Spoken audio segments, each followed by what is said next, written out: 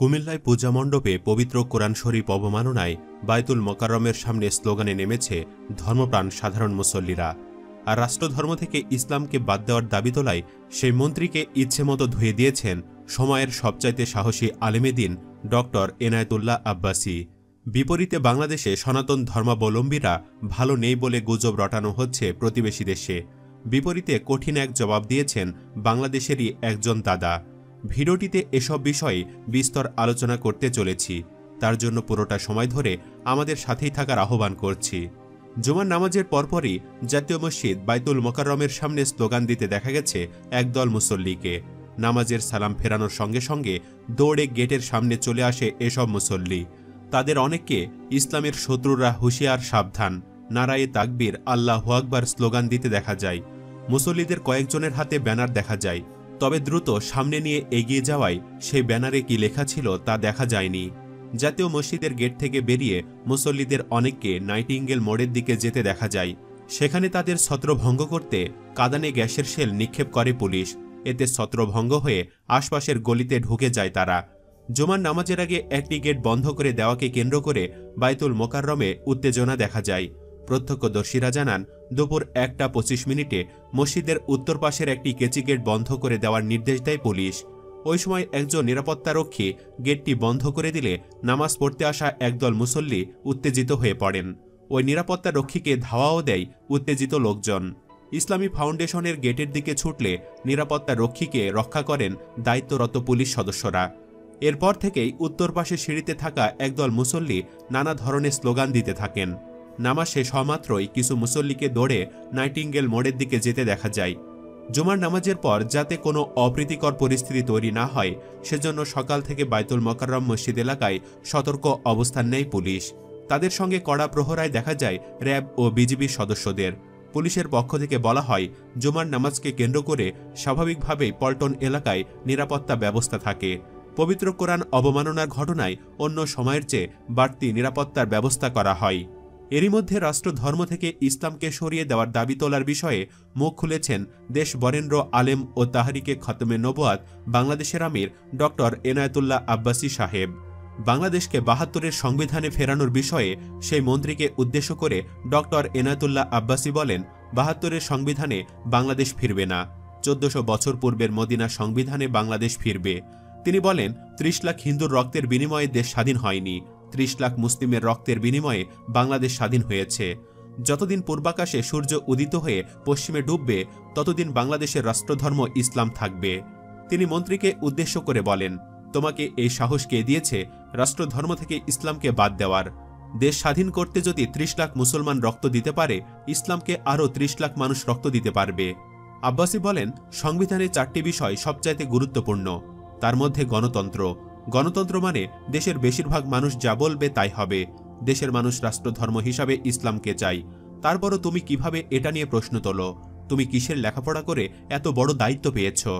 বঙ্গবন্ধু একবার বলেছিলেন, যে জাতি হালের বলদ বিক্রি করে হজ করতে যায়, সে জাতি ইসলাম ছাড়া চলতে পারে না। এই কথা উল্লেখ করে আব্বাসী বলেন, ইতিহাস ভালো করে পড়ো। স্বয়ং প্রধানমন্ত্রীও মদিনার আইনে দেশ চালানোর কথা বলেছেন। দেশের আইনে রাষ্ট্রধর্ম ইসলাম আছে। তুমি কীভাবে বঙ্গবন্ধুকে অমান্য করো? কীভাবে প্রধানমন্ত্রীর ওপর দিয়ে কথা বলো? কীভাবে আইনকে অবজ্ঞা করো? অতপর তিনি চব্বিশ ঘণ্টার মধ্যে লাইভে এসে ক্ষমা চাইতে বলেন। না হলে প্রধানমন্ত্রীর কাছে সেই মন্ত্রীকে সাটায়ের দাবি তোলার হুমকি দেন। সাম্প্রতিক পরিস্থিতিতে এই একজন ব্যক্তি আছেন যিনি ইসলামের শত্রুদের বিরুদ্ধে এভাবে হুঙ্কার তুলতে পারেন। আল্লাহ যেন ওনাকে হেফাজত করেন। এরই মধ্যে প্রতিবেশী দেশে নানান গুজব রটেছে। বাংলাদেশে সনাতন ধর্মাবলম্বীরা ভালো নেই বলে তাদের প্রধানমন্ত্রীর হস্তক্ষেপ কামনা করেছেন। ভাবা যায়, কোরআন অবমাননা হলো মুসলিমদের, প্রতিবাদ করে মাইরও খেল মুসলিমরা, এখন দোষও মুসলিমদের। তবে বাংলাদেশে যে সনাতন ধর্মাবলম্বীর দাদারা ভালো, অন্যান্য দেশের তুলনায় ভালো আছেন, সেটা স্পষ্ট করেছেন এক দাদা। উনার নাম বিদ্যুৎ কুমার রায়। তিনি শিক্ষা মন্ত্রণালয়ে কর্মরত। নবম দশম শ্রেণির রসায়ন পাঠ্য বইয়ের লেখক। সামাজিক যোগাযোগ মাধ্যমে তিনি লিখেছেন হিন্দু হিসাবে বাংলাদেশে জন্মগ্রহণ করে আমি গর্বিত। তিনি বলেন, নিশ্চয়ই হিন্দুরা আমার ওপর খেপে যাচ্ছেন। অবশ্য এতে আমার কিচ্ছু যায় আসে না। সত্য কথা বলতে আমার দ্বিধা নেই। আমি অবশ্য গণধোলাই থেকে বেঁচে গিয়েছিলাম ঢাকা মহানগর কেন্দ্রীয় শারদীয় দুর্গাপূজার উৎসবে, অর্থাৎ ঢাকেশ্বরী মন্দিরে। আমার কথাটি কেবল শুরু হয়েছিল। দু চারজন হিন্দু মানুষ আমার দিকে আর চোখে তাকিয়েছিল। তারা জড়ো হয়েছিল। তিনি লিখেছেন, আমার বিরুদ্ধে কিছু একটা করবে তার পরিকল্পনা তারা হয়তো করছিল। কিন্তু আমি বুদ্ধিমত্তার পরিচয় দিয়ে মার খাওয়ার আগেই ওখান থেকে চলে এসেছিলাম। আপনারা দেখছেন, গতকাল আমি ঢাকেশ্বরী মন্দিরে গিয়েছিলাম। আমি ফেসবুকে লাইভ দিচ্ছিলাম। হঠাৎ দেখি এক জায়গায় কিছু হিন্দু মানুষ গণস্বাক্ষর নিচ্ছেন। সেখানে একটি ব্যানারে লেখা ছিল এরকম যে, হিন্দু ও মুসলমান সম্প্রদায়ের বৈষম্য রোধকরণের জন্য গণস্বাক্ষর দিন। এই গণস্বাক্ষর তারা মাননীয় প্রধানমন্ত্রীর কাছে উপস্থাপন করবেন। বিদ্যুৎ কুমার রায় আরও লিখেছেন, আমি ভীষণ কষ্ট পেলাম এই ব্যানার দেখে। কারণ আমি আমার জীবনে ওয়ান থেকে মাস্টার্স পর্যন্ত পড়ালেখা করে আজ পর্যন্ত দেখি নাই যে বাংলাদেশের কোথাও হিন্দু ও মুসলমান সম্প্রদায়ের মধ্যে বৈষম্য হয়েছে। যদি কোনো হিন্দু মানুষ কথা বলে, তাহলে এটা সম্পূর্ণ মিথ্যা। যদি হিন্দু ও মুসলমান সম্প্রদায়ের মধ্যে বৈষম্য থাকত এবং বাংলাদেশে মুসলমানরা বেশি সুবিধা পেত, তাহলে আমি মাস্টার্সে ফার্স্ট ক্লাস ফার্স্ট আর বাবলু হীরা মণ্ডলে অনার্সে ফার্স্ট ক্লাস ফার্স্ট হতো না। আমাদের বাড়িতে আমরা তিন ভাই সরকারি চাকুরিজীবী।